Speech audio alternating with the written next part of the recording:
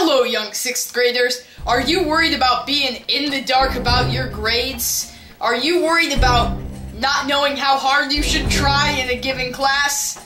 So was I in sixth grade, but you won't be thanks to this step by step instructional video that you are about to watch. Ready and go!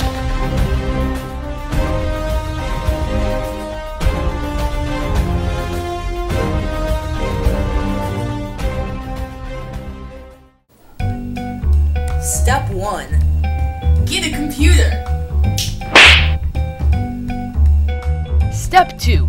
Log on to your computer, open an internet browser, and go to www.cusd200.org. Step 3.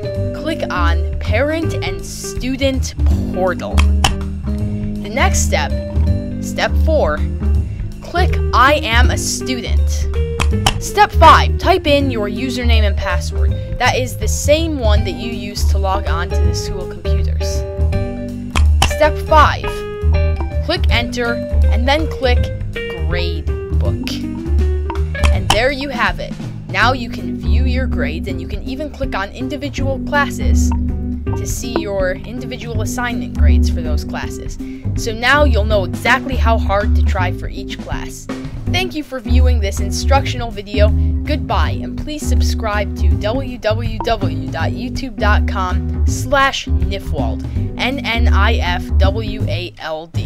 Goodbye.